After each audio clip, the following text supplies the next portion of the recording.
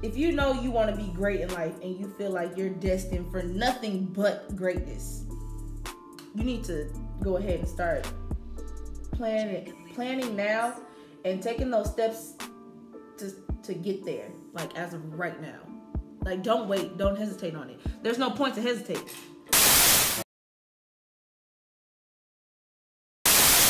Cut crease is done. Is it my best? Probably not. Is it good? Yeah, it's good enough for me to work with. So, as what I was saying about when you get some, when you start working hard and then you start to feel like it's at a, you're getting to a plateau, you never want to stay like stay because it's easy to kind of like get to a point of comfort and then you just keep going like okay this is cool this is cool you know and you start once you get comfortable you start putting stuff off you don't want to start doing that. Because it's so easy to get lazy but like what would be the point after that? So i just encourage everybody including myself just keep pushing yourself keep working hard at accomplishing your goals whether those goals be large or small just keep pushing forward because you never know what what's gonna happen. Because success doesn't have a timestamp you work hard so you can be successful. And no goal is larger than another. So i just say keep working hard and you're gonna get there. You you are gonna get there. And you'll be very i'm saying you will be amazed at how either how how hard you work i'll put it this way how hard you work is how fast you'll see outcomes. Like i didn't the project that i'm working on right now the huge project i'm working on right now i didn't expect these outcomes to be like this huge. Like the outcomes are large and i'm shocked. I'm like oh. So if i would have known working this hard on this type of project while I was in school, while I was taking these business classes, probably making the projects more so personal instead of just like, okay, I'm just doing this to get a grade or just kind of like, I'll put it this way for my business degree, if I would have treated it the way I was doing my creativity with my broadcast journalism degree, like everything I learned with in my broadcast journalism department, I applied that to making my channel. Like all the technical things that I would learn from my professor, and I from all three of them, honestly, because everything merged together into one. Like, who would have thought a shy girl like me that had all of this creativity bundled up inside that I would be able to find an outlet like this? and have the courage to actually do it because you're sitting here watching everybody else do it. I'm sitting here watching Raven Elyse, Jail Corian, Amber Martin. Um, those are like the top three people I can name off the top of my head. When you can see that everybody else has their, and they all have their own reasons on why they started their channel. Probably because they, majority of them are the OGs. Like they never knew that they could make money off of this or whatever, and blah, blah, blah, blah. But they continue to inspire people like me. It's like I have all of these creative ideas, but I don't have anything else to do with them other than just doing the bare minimum to just get a grade to make it by. Like, but why would you want to do that? Why would you want to just make it by when you can continue to be great? So, I took all of those creative juices and here we are today. Almost 200 videos. And speaking of hitting almost my 100th video, it's crazy for me to think that in a year, like I can post almost 100 videos. And I say almost lightly because I'm gonna do something huge for my 100th video. And I don't wanna give those plans away just yet. That's good. My 100th video, that's gonna be my, like, something that I've never done, stepping out of my comfort zone, talking like never done. So this is gonna be pretty freaking interesting, and I'm actually very excited to do it. So I can't wait to show y'all what I have in store. But that's pretty much where I am right now. Like, if anybody were to tell me, "Oh, you you speak so well, you should be a motivational speaker," da da da da, you should be doing this, you should be doing that. I say follow your dream, make your dream a reality, and keep it pushing. Never look back. I think that's a quote that I'm gonna state for this video. I'll do it like this. The quote for this video never look back. Who said it? Cash. That's who said it. Never look back. Because when you're looking back, you're too focused on what's going on back there. And I got this type of metaphor from a different person. And I love and that person is like near and dear to my heart. When you focused on, let's say you're driving in a car and you're focused on the rearview mirror versus on your windshield. Why are you focused on this small little mirror that's focused on some little bitty stuff that's going on in the back when you have this huge window of opportunity right in front of you that you can drive forward to? So why focus on back there when you can keep moving forward? Never look back. So I gave y'all and myself the little pep talk that we all probably needed to keep moving forward. So we're gonna do that. And I've already talked about how it's graduation season. And it's like today I have to go down to the city again. This time I'm leaving pretty early because I actually have a Saturday planned. Like what? So I'm supposed to be filming for my podcast. And if you haven't heard about my podcast, which if you have noticed, like if you are a die-hard supporter of me, if you've noticed that I've taken all of the episodes off of this channel.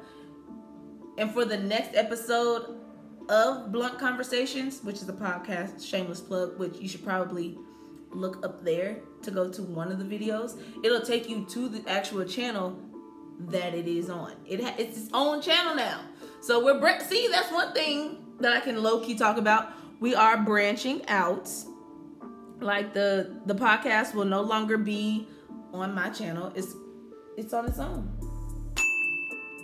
And we're looking to add more people to it. Like if you feel like you could be a special guest or if you just want to have input on what we talk about, you can DM me or at you can DM me at humbled goddess on Twitter or underscore or at underscore humbled goddess on Instagram. That's all that I'm trying to do. I'm trying to make sure that my creative wheel it doesn't have a plateau. It never has a comfort zone because I want to keep breaking out of my comfort zone the more that I can. And yeah.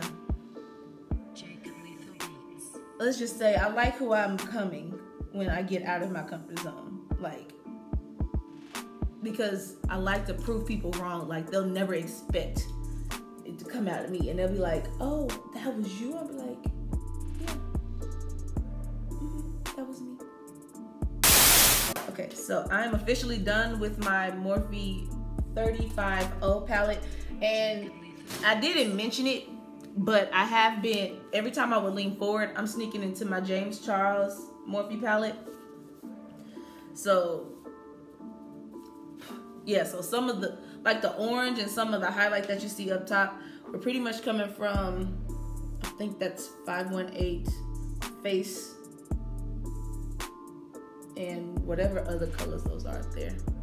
Cause I don't have the I don't have the film to tell me what the shade colors are, so I'm not even about to sit here and butcher it. But what I am about to go into oh my gosh, let me flip it this way. I'm about to just kind of stick with these three greens right here. I think,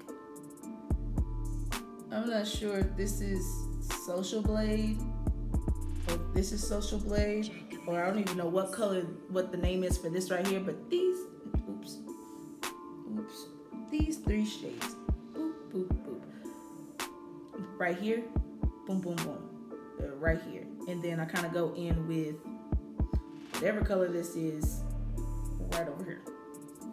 Okay? So, oh, and speaking of James Charles, I don't like to have, I don't want my channel to become like where I sit here and talk about the tea of what's been going on. But I just watched, like this morning, I just watched Tati's video because yesterday, you know, if you, my thing is, if you're like a real viewer of YouTube, like this is my television. If you really watch it and you have people that you really genuinely follow, I get I get the notifications. And when I get the notifications, I'm gonna watch it. When I saw him post this random video, I'm like, it's not dolled up, it's raw cut, and the title is just Tati in lowercase. I remember him mentioning who Tati like every now and then, but I'm like, Tati? Like, what's going on? He goes, he does his little eight minute spiel. I'm like, what did you do? And I get that your mom probably wants to defend you and everything, but like, what did you do? And then this morning, I'm just scrolling through, you know, the morning scroll, and her video pops up at the at a certain point, and I'm like, "Bye, sister." I'm like, and it's 41 minutes long, no ads. She was genuinely pissed, and hopefully things work out because at the end of the day, YouTubers are just they're humans who showcases their lives. So I never it's like you would never want someone who had a genuine friendship or a genuine relationship with somebody. That's hard to see come to an end. Especially when you've been through it before. And I'm not saying that my relationships are so high scale like that. Like in the public eye like that. But whenever I cut somebody off, like I'm the person to be like, hey. And my thing is, when I cut you off, I, I barely tell. I will barely tell you. I'll just end up. I'm just cutting you off. Like there's why why would there need for me to be, have an explanation? Because when you try to come back around like ain't nothing happened, bye.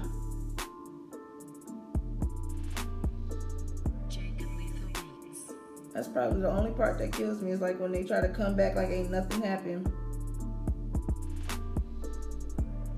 Cause I just be sitting I'm like, are you really, this is how you feeling right now? We just gonna sit here and act like, like we just gonna sit here and act like you didn't just go and sitting here and telling me that you, or not even telling me, but you sitting like you feel the same way about it's just too much. Too much. Too much. But long story short i get the pain that she's pro- that she's probably going through because everybody deals with pain like that at a certain point in their life. And if they don't if you don't then that's good because that means something genuine is still there. But when you are fed up but it's with the person that you love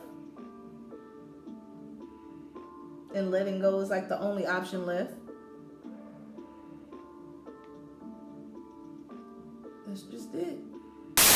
It's never easy. It's, it's never, never gonna be easy.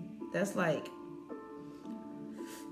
and if you, and if you think it is easy, or if you feel like it's easy to go through type a type of pain like that, don't come talk to me, cause I know who I am. I'm an emotional person and I deal with my emotions in private. So when I'm hurting and you don't hear from me from a while, just know that I'm gonna be all right. I'm gonna be all right. God, give me a minute. But onto a more positive note, I am going on vacation soon. Like, uh, it's about to go to LA for the first time and when I tell you I can't wait, I need people, if you've been to LA before or if you're from LA, like let me know where I need to go. I know for a fact, hopefully, I can lock in a, slot. hopefully, she's in LA teaching, but I want to go to a Queens and Letos class. That's something that I really, really, really want to do. Like wholeheartedly. That's what I really want to do working on certain projects, making sure that everything is accounted for. Um, va- vacations I'm planning on going to. Like my mom, she wants to go on a cruise, and I, I actually told her that finally I'm cool with going because I got a thing about okay, I got a thing about me and boats. but I love water. That's the thing. I love water. I want to go to different countries. I want to go to islands. I want to enjoy the tropical life. But it's how I get there. Because if I get there by boat, I'm sitting here thinking that Titanic is about to reoccur and we're going to have some issues. Um, I'm not feeling that part. But she's like, no, you won't even know you're on water. You're going to have so much fun. Yada, yada, yada, blah, blah, blah. You can tell me all that in the world. But if I feel like I'm not safe, I'm not safe. Oh, yeah. And I'm doing my liner in Fenty Beauty's Fly Liner. Long wear liquid liquid liner, liquid eyeliner. Cause I'm black. And if you haven't known about this tool by now, I don't know where you've been. I just haven't got it yet until now. yeah. So serious moment. I gotta I gotta do this. So I'll be right back. What up? yes, I'm back with a different mirror. Um, I'm just throwing on these lashes that are actually black owned. Dog by Jay. This is her old packaging. She has new packaging. I'm putting on the lashes in the style Bambi. So, yeah. And here's another thing for people who keep talking about support black owned businesses, do this and do that. I just want to know do you really do it? do you really be supporting these entrepreneurs out here in the world? Because what would be the point of you posting about it if you don't really support?